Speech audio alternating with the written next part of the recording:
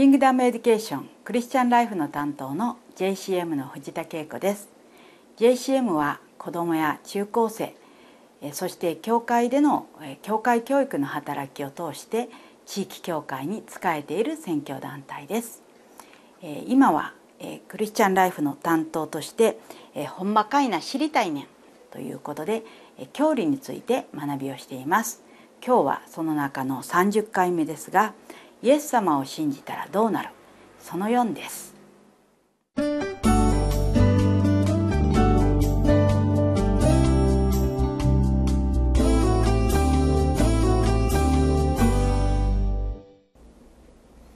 今まで、えっと、イエス様を信じたらどうなるっていうことでいろんなことを学んできました。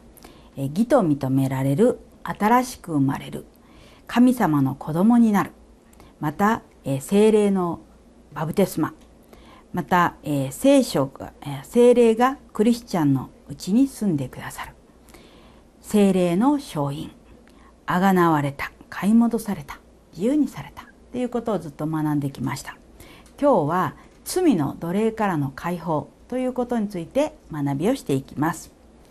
まあ前回イエス様の十字架と死またその復活を通してあがなわれた。ということを考えてきました。あがなうっていうのはこう買い取るっていうことですね代からを払って買い取っていただいた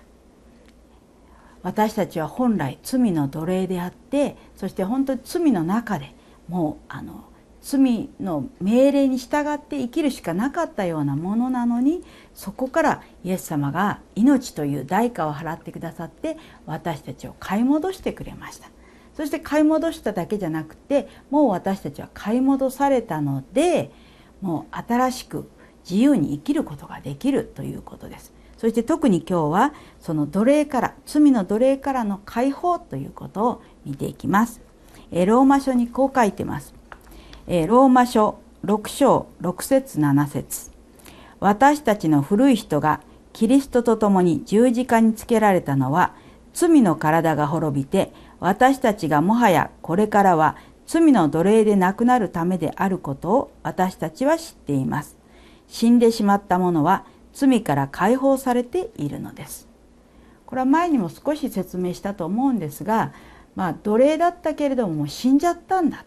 そしたらその奴隷の主人は死んでしまった人をもうあの働かせるわけにいかないですよね。ですからもうああもう死んでしまったしょうがないって言って、まあ、外に投げ出されてしまう。でそこでもう自由になるんだ。ところがですね多くの場合この自分がもう罪に対しては死んでしまった。イエス様と共にイエス様が十字架にかかって死んでくださったのと同じで私たちはイエス様と共に死にました。そしてイエス様と共に生き返りました。新しい命を持って生き返りました。っていうふうに頭では分かってるんですが罪に対して死んだっていうことがあまりよくわからないのである意味で今までの習慣あのまあねイエス様信じて急に劇的にワンって変わったっていう人はなかなかいないと思うんです。まあたまにね本当に劇的に変えられた人生を歩んでる方もいらっしゃいますがほとんどの方は、まあ、昨日と今日そんなに大して変わらないな確かにこう外が輝いて見えるとかなんか今まで感じなかったぐらい心が平安と喜びに満たされたとかそういうのはあるんですけどもでもこの罪っていうことに対しては今までやってた習慣がありましただからなかなかそれをこう抜け出すっていうことが難しくっていつまでたってもクリスチャンになっているにもかかわらずまだ罪の奴隷のままでいる方々が結構いるんですね。でももう死んでしまったイエス様と共に死んでしまったからもう私たちは罪の奴隷ではないんです。そのことをまずしっかり知ってください。そして特に今はいろんなものが、まあ、私たちを奴隷にしようとしますね。まあ、若い人でしたら特にゲームの奴隷携帯の奴隷インターネットの奴隷また友達の奴隷仲間外れの奴隷恐れの奴隷など、まあ、そういういろんなものがあると思うんです。まああの残念なことですけどもこの自分で好きでやってると思って私はゲームをしています。携帯をいじっています。またインターネットしています。私が自分で選んでやってると思っているんですけど実のところはもう中毒状態になってる。だから自分であこれは今やるべきじゃないな。今勉強だな。とかこれは今やっちゃいけないなって分かっているのにやめられない。でこれが結局罪の奴隷中毒であるということですよね。まあ私自身も考えてやっぱり一番私の問題はやっぱインターネットかなとかって思っていろんなインターネットで情報が得ることができるのでついつい天気予報で今日は晴れかなっていうのと同じで今日は何かあるかなっていうのでパッて見てしまうわけですね。でもそれを見たらまあ10分20分じゃ終わらないですよね。やっぱりこう1時間近く見てしまったりまたフェイスブックなんかもそんなずっと見てるわけじゃないんですけどずっと見てるわけじゃないから余計フェイスブックをパッてやったら何かなってみんなどうしてるかなってバーッとこう見ると結構それだけでも時間かかってしまったり。まあ別にどうでもいいんですけどね。このそのことであのフェイスブックを見ないとダメだとかね。そういうそこまでとらわれてるつもりはないけどでも見始めると1時間2時間あっという間みたいな形になってしまいます。ですからそういう意味で知らず知らずのうちに罪の奴隷になってるっていうとこあるんじゃないでしょうか。じゃあこういう罪の奴隷の状態からどうやったら解放されるんでしょうか。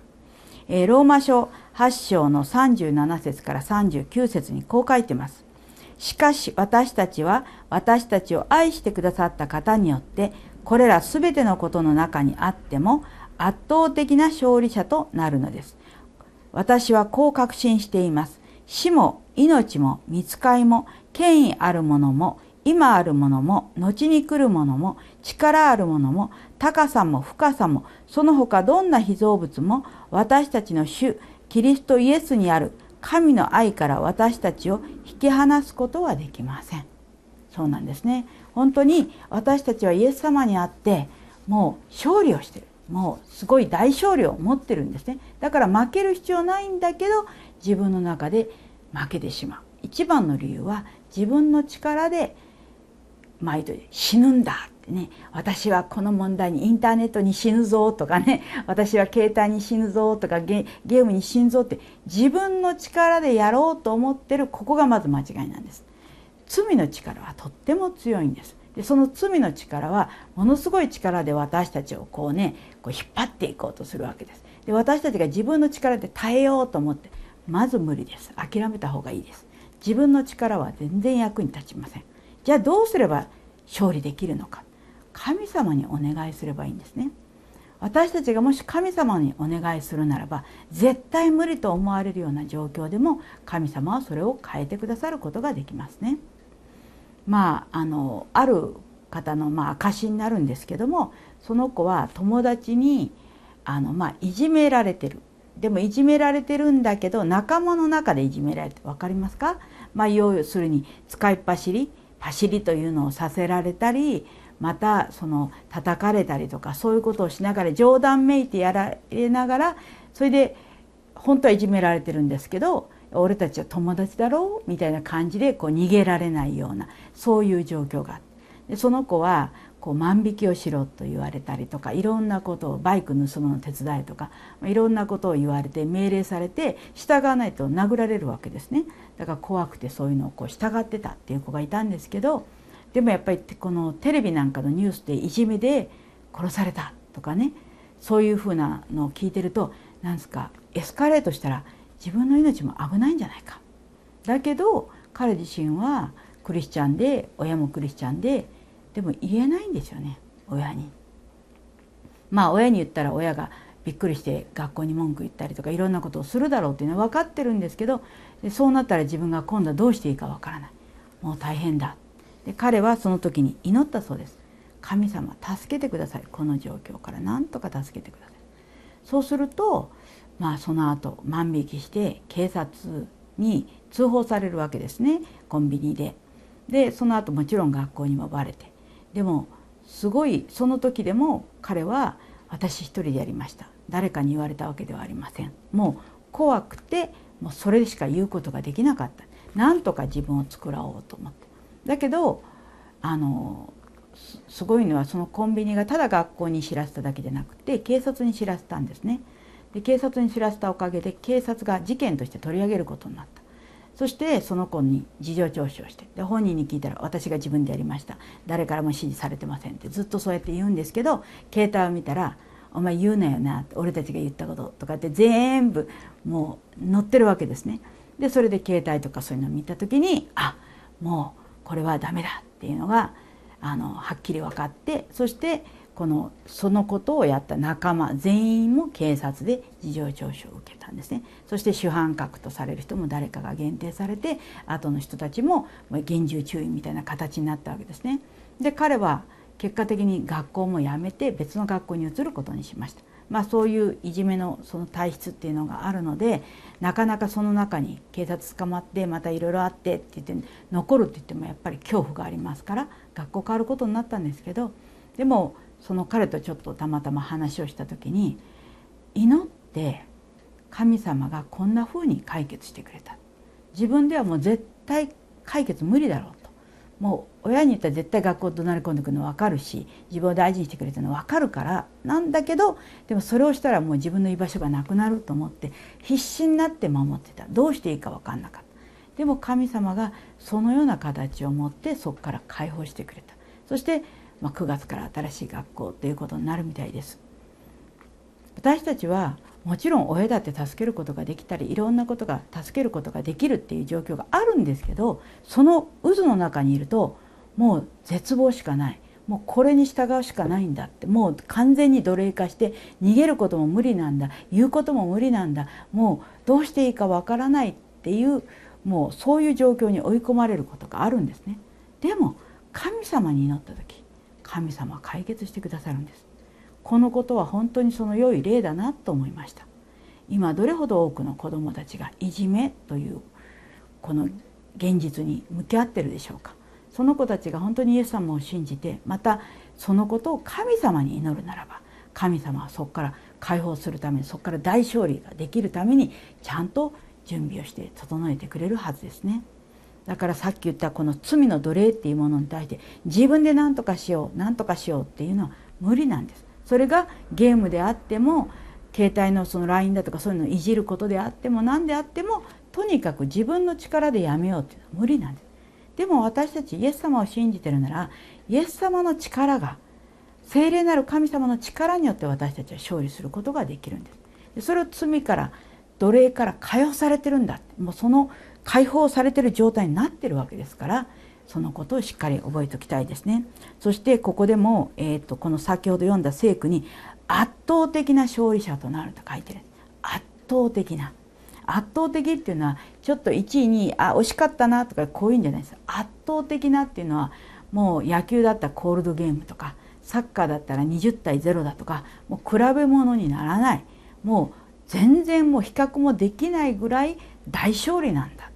神様が介入したらそうなんですよね。だから私たちはそういうあ自分はもしかしたらこういう意味で奴隷になってるかもしれないなって今思ってる人がいたらそれがどんなことであったとしてもそれは良くないこと。奴隷になってるっていうことは不自由なんです。神様は私たちに自由をイエス様を信じて自由を与えてくださってるんですね。だから罪の奴隷ではなくそこから解放されて勝利することができるように神様は御言葉の約束も与えてくださってます。大事なことは祈ることです。神様助けて。私はどうしていいか分かんない。私はやめられない。私は奴隷になってる。でもここから抜け出したい。神様助けてください。是非そのことを祈って本当に神様の勝利を体験するようになってください。また、え神様は私たちを絶対見放せませんね。ヘブル書13章5節の後半で「私は決してあなたを離れず、またあなたを捨てないと言われています。あなたの心に、あなたがイエス様を信じているなら、あなたの心にイエス様は住まれています。そのイエス様はあなたを見放したり、見捨てたりしないっていうことです。どんなにあなたが弱くても、どんなに神様なんかって今までひどいことをしてきたとしても、あなたの心にいるイエス様はあなたといつもいてあなたの味方なんですだからあなたがもし助けてと言えばすぐに助けてくださいます。そのことを忘れないでください、えー、そして、えっと、ヘブル書2章の14節15節はこう書いてます。そこで子たちは皆血と肉と思っているので主もまた同じようにこれらのものをお持ちになりました。これはその死によって悪魔という死の力を持つ者を滅ぼし一生涯死の恐怖につながれて奴隷となっていた人々を解放してくださるためでした。多くの方は死というのを非常に怖がるんですね。死んだらどうなるんだろうか。まあ、イエス様のことを知らない人にとって死は恐ろしいです。もう何が起こるのかわからない。そういう本当に不安ですね。そしてたとえ消えてなくなるにしても自分の存在がなくなる。この地上からなくなるっていうことでみんなから忘れ去られるんじゃないか。とか今までやってきたことは何の意味があるんだろうかって言って本当に死ぬんだっていうふうに感じた時にはすごい恐怖があるんですね。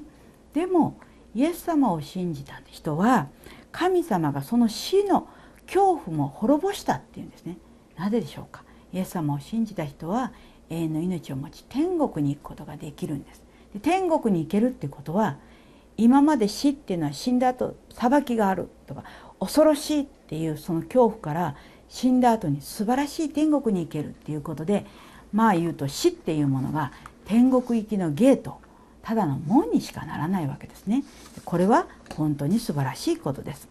そしてもう死を恐れることもなくなっていきます。じゃあ今日の2つ目ですね今こういうそれも死っていうのも、まあ、奴隷死に対する奴隷ですよねだからそこからも解放されますよということですが次は、えー、っと永遠の命を持ち天国に行けるということを考えます。永遠の命は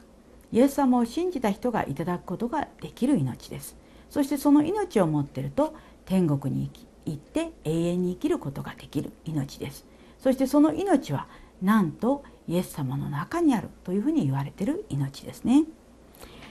えー、っとそしてその永遠の命は奪われたりなくなったりっていうことがないっていうことです。では有名な箇所からいくつか聖書を読んでいきたいと思います。ヨハネ3章16節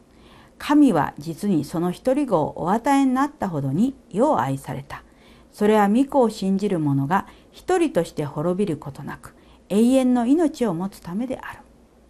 ローマ6章23節罪から来る報酬は死です。しかし神のくださる賜物は私たちの主イエス・キリストにある永遠の命です。永遠の命を持ってるっていうことはイエス様を信じている印でありまた天国に行くことができる保証でもあるんですね。えー、ヨハネの福音書17章2節3節にこうあります。それは子があなたからいただいたすべてのものに永遠の命を与えるため、あなたはすべての人を支配する権威を子にお与えになったからです。その永遠の命とは、彼らが唯一誠の神であるあなたと、あなたの使わされたイエス・キリストを知ることです。また、第一ヨハネの5章の10節12節には、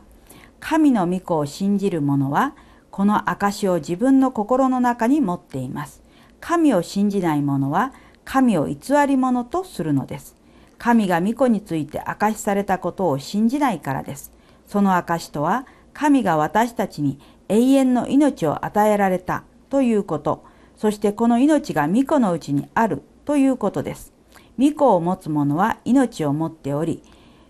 神の御子を持たない者は命を持っていません。でここでもはっきり書いてますがイエス様が私たちのうちにおられるということとイエス様のうちに永遠の命があるということですねだからイエス様を信じてるということは永遠の命を持ってるということです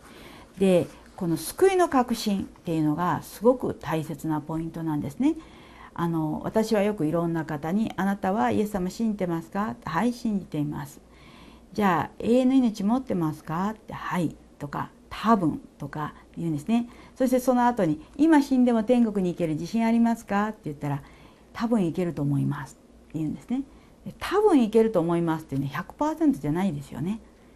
絶対いけるじゃないんですよ。多分。多分っていうことは1%でももしかしたらいけないかもしれないっていう気持ちを持ってるということですよね。信仰というのは100%か0かどっちかなんです。99%とか95%っていうのは0と一緒なんですよね。信じるっていうのは100%です。だからあなたが天国に行けますか？永遠の命持ってますか？はい私は永遠の命持ってます。天国に行けます。これ100%なんです。でそれをちょっとでも疑う。多分とかいけるといいなと思ってますとかもうそういうふうに考えてしまうっていうことはつまりこの神様の約束を100%信じてないっていうことですね。希望的観測。いけるといいな。多分いけるんじゃないかな。でも自分を見るとあこういうとこもあるああいうとこもある。きっと私はいけないかなっていうことを思ってるわけでしょうね。これはとんでもないことですよね。神様がはっきりと永遠の命を与えるって言ってるのにそれをもらったら天国に行けるっていうのがはっきり分かっているにもかかわらずうんどうかなって疑うなんていうのはとても失礼なことですね。ヨハネの福音書10章28節私は彼らに永遠の命を与えます。彼らは決して滅びることがなく、また誰も私の手から彼らを奪い去るようなことはありません。ね、一度いただいた永遠の命は誰にも奪われない、取られない。もういただいたものはずっとなんですよね。だからそこでその疑うっていうことはとんでもないことで、また神様に対して失礼なことです。でもこれは自分で永遠の命を握りしめるとか持つために努力してるとかそういうことじゃありません。私たちがまた感情的に今永遠の命持ってる気がするとかあの気分じゃないんですね。もうこの永遠の命は神様がイエス様を信じてる人に与えられた約束のものなんです。だからそれを信じたってことは持ってる。持ってる人は天国に行ける。それをこの周りの状況だとか自分の信仰のバロメーターにに信仰的だったら奉仕いっぱいやってるからっていけるぞとかっていうのは大きな間違いです。神様が永遠の命を与える。それはなくなることがないって言われてるんだからはいその通りですということでそのことを信じてほしいと思います。では次に、えーと、命の書に名が書かれてる。皆さんこのことどう思いますか？命の書っていうのがね天国にはあるんですね。でそこにはイエス様を信じ誰かが信じた時に名前が書かれるんです。まあ私も今から40年前にイエス様を信じました。そしたら天国でですね天使が「はい藤田恵子イエス様を信じました」って言って永遠のまあ命永遠のというか命の書に名前が記されてるわけですよね。ところが、うんまあ、このことをあのあんまり分かってない方もいます。えー、ってだから名前が書かれてたら消されるってことはないですよね。えダニエル書の12章の1節2節にこう書いてます。しかしその時あなたのためにあなたの民であの書に記されているものは全て救われる。このあの書っていうのが命の書ですね。地の塵の中に眠っているもののうち、多くのものが目を覚ます。あるものは永遠の命に、あるものはそしりと永遠の意味にと書いてます。またピリピ4章3節では、この人たちは命の書に名の記されているクレメンスやその他私の同労者たちと共に福音を広めることで私に協力して戦ったのですと。でここでも命の書に書に名前が記されてる。またルカの福音書の10章20節後半ただあなた方の名が天に書き記されていることを喜びなさい。また黙示録3章5節勝利を得る者はこのように白い衣を着せられる。そして私は彼の名を命の書から消すようなことは決してしない。私は彼の名を私の父の御前と御使いたちの前で言い表す。黙示録20章15節命の書に名の記されていない者は皆この火の池に投げ込まれた。最後に黙示録21章27節子羊の命の書に名が書かれているものだけが入ることができる。イエス様を救い主として信じているなら天国で天使が命の書に名前を書いてくれてるんです。ですからあなたの名前が書かれてるからあなたは天国に行くことができます。まあ、最後の審判って全ての人はあの神様の前に出る時がありますねでその時に数々の書物が開かれると書いてますでその数々の書物は私たちがどんな行いをしてきたかどんな生き方をしてきたか。でも最後に命の書を開きなさい。でそれを開くとそこには名前が書いてある。書いてあるか書いてないかチェックするわけです。で名前が書いてあるならばこのものは天国に行きなさい。永遠の命を持って天国に。でも名前が書いてないとあなたは永遠の滅びに行きなさい。というふうにして、まあ、審判を受けると書かれています。ですからそこに名前が書いてあるってことは私たちが救われてる天国に行けるその証拠でもありますね。オフ命の書って知ってるか？ああ命の書命の書っていうのはイエス様を信じたら天国で命の書っていうところにその信じた人の名前書いてもらえるんやで。うーんほんまに書いてんか？ちゃんとな聖書に書いてあるんやで。黙示録っていうとこにな。人は死んだらみんな神様の前に出てほいでその時にこういろんな書物が開かれんねん。えー、それ命の書？ああ違う違う。最初はな何やったかっていうのが書かれてるんやって。だから例えばオフが、えー、熊くんに親切にしたとか熊くんを殴ったとかかな。そうやね。まあ嘘ついたりとかそういういろんなことをね全部書かれてんやで。だけどその後最後に神様が「命の書を開きなさい」って言ってほいで命の書を開くやろ？なその時に「はいオフの名前があります」って言われるねそしたら「はいオフは天国ですよ」って言って天国に入れてもらえんねん。うんそうなんか。でも神様は優しいなオフみたいな意地悪で暴力的な人をそうやって天国に入れてくれんやからな。ちゃうでオフがええ子やとか神様が優しいからって言って天国に行けるわけちゃうねんで神様がイエス様っていう救い主を送ってくれたやろ？うん、イエス様が私のすべての罪のために十字架にかかって死んでくれたから私の罪は許してもらうことができんねん。それで命の書に名前が書かれるんや。だからオフがええ人間やとかそんなんちゃうで。でもし世界中にね神様が天国に入れてもいいかなって思う人がおるかなって探したらおるか。一人もおれん。一人も。そう。全ての人は罪持ってるから神様は天国に入れることできへんねんで。だからイエス様が死んでくれたんや。そっか。オフは命の書に名前が書かれてんねんな。天国に行けるんや。なんかちょっと寂しそうやな。どうしたん？だって僕はぬいぐるみだし命ないし命の書に名前書かれてないし天国に行かれへんし。ああそうやな。くまくん残念やな。くまくんは天国に入れへんもんな。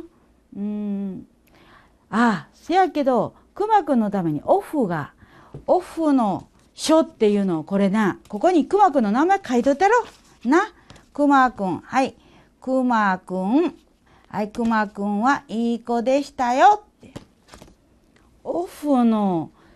書になんか書いてもらったって何の意味もあれへん。せやな。せやけどないよりましやろはあ今日は、えー、罪から勝利できるっていうこととそして永遠の命を持ってるっていうことまた、えー、命の書に名前が書き記されてるっていうことについて学んできましたね。皆さんはこう今の生活の中でクリスチャン生活の中で学校でもなかなかクリスチャンの人は少ないですしこの神様を信じてる者の価値観を持って生きるっていうことはとても大変だと思います。そして多くの若い人たちがまあ罪に支配されてるっていうそういう状態の中で別にいいやこれでってみんな思ってる。でまたそういう生き方をしないことに対してこう変だなこいつっていうふうに思われてしまうそう考えるとちょっと怖くなることがあるかもしれません。でもあなたがイエス様を信じているなら永遠の命を持ってるというこの事実天国に行けるという事実はものすごく大きな素晴らしいことなんですよね。そのことを軽く考えないでほしいんです。まあ、ある人は「まあうちはキリスト教だからしょうがないか」って言ってぼやっとして、まあ、イエス様信じてるけどまあ多分天国に行けるけどとかっていうそういうレベルでもしかしたら考えてるかもしれません。でも思い出してください。3.11の時に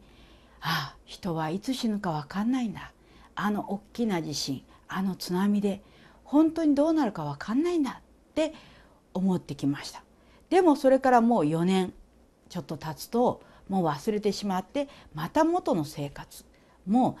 うね友達とのこと何か持ってるか持ってないかとかそういう価値観何かこうみんなと同じことをやってないとダメなんじゃないかっていうそういう価値観に振り回されてるかもしれません。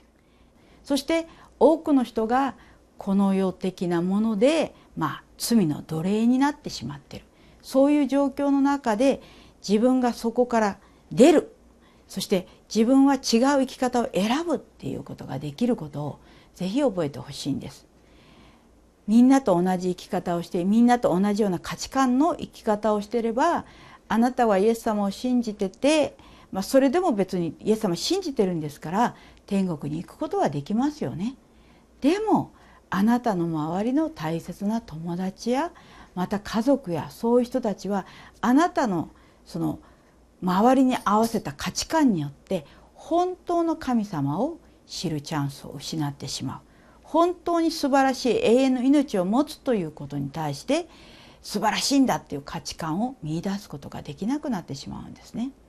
だから是非まず自分自身が罪の奴隷から自由にされてそして本当に天国に行けることは素晴らしいことなんだよ。私の名前が命の書に名前が書かれてるんだよ。っていうことを伝えてほしいなと思います。これから何が起こるかわからない時代です。本当にまた地震や津波や火山が、まあ、原発やもういろんな問題が起こってくるかもしれないそれがいつ起こるかわからないっていうこの危機的な状況の中で是非あなたが周りの若い人たちに伝えてほしいなと思います。まあ、私はある女の子がですね、まあ、大学生の子なんですけどもその子がまあ普通にクリスチャンだけれどもまあ普通に彼氏を作って楽しくって言ってたんだけどでも虚しくて虚しくてどうしていいか分かんない。その時にやっぱり神様のもとに戻りたいと思ってそして神様のことを学んでいったんですね。そしたらその時に初めて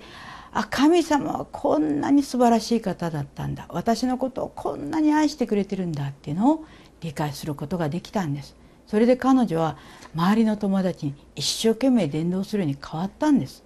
で今までこんな私の友達はそんなこと言っててばっかじゃないの？何考えてんの？って言われるんじゃないかなと思ったのにその子たちの中からもっと聞きたい。私も教会に行きたい。私もそういう若い人が集まってる集会に行きたいっていうふうに言ってるくれる人が与えられたと言ってました。だから本当に彼女はもう涙を流しながらこのイエス様のことを今私が伝えなくてどうするんだって本当に訴えてました。それを見てあこっからリバイバルが起こるんだなと思いました。その一人の人が変わることによって神様と本当に近くなって神様に仕えたいっていう気持ちを持つことによって周りの人がどんどんどんどん影響されていくんです。でもあなたがこの世の価値観に影響を受けてそういう生き方をしたらあなたは神様のことをみんなに教えるチャンス証しするチャンスを失ってしまいます。是非永遠の命を持ってるっていうことを喜んで伝えるものへと変えられることを願います。ではお祈りします。愛する天の神様私たちはこの世のいろんなものに価値を見いだしてそれに振り回されて奴隷とされています。そしてもう自由にされているのに神様から永遠の命をいただいてもっと喜んだりまた神様のために生きることができるのにそれが価値があるとわからない状態でいます。でもどうか神様私たちが目を開いて心を開いて本当に神様の素晴らしさ永遠の命を持っていることの素晴らしさ天国に行ける天国という希望を持っていることの素晴らしさを一人でも多くの人たちに伝えることができるように導いてください。どうかそのために私を用いてください。感謝してイエス様のお名前によってお祈りします。アーメン。